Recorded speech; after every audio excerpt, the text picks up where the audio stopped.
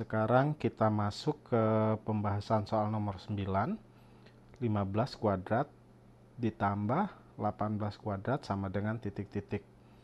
Ya, uh, seperti kita lihat di soal adik-adik ya, bahwa bentuk kuadrat yang terdapat di soal yaitu bentuk kuadrat lebih dari 10 sehingga kita harus menghitungnya dengan menggunakan uh, cara perkalian bersusun ke bawah atau porogapit.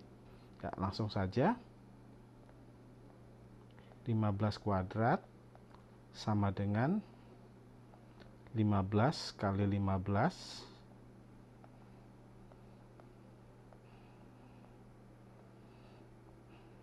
5 kali 5 25 kita tulis 5 nya 2 nya kita simpan 5 kali 1 5 kita tambah 2 7 1 tambah 5 1 kali 5 5 1 kali 1 1 kita jumlahkan 5 kita turunkan ke bawah. 7 tambah 5 12 kita tulis 2 nya 1 kita naikkan 1 tambah 1 2 ya. Jadi hasil dari 15 kuadrat adalah 225 ya adik-adik ya. Lalu yang selanjutnya 18 kuadrat sama dengan 18 dikali 18 sama dengan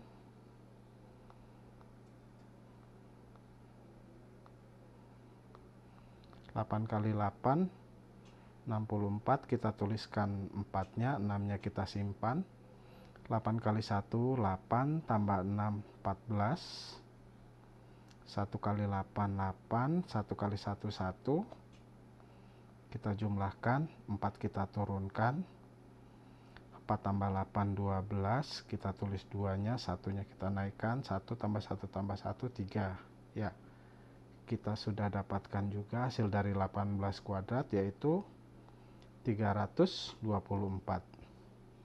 jadi 15 kuadrat ditambah 18 kuadrat sama dengan 225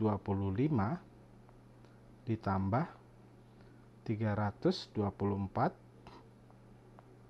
sama dengan kita hitung dulu adik-adik 225 ditambah 324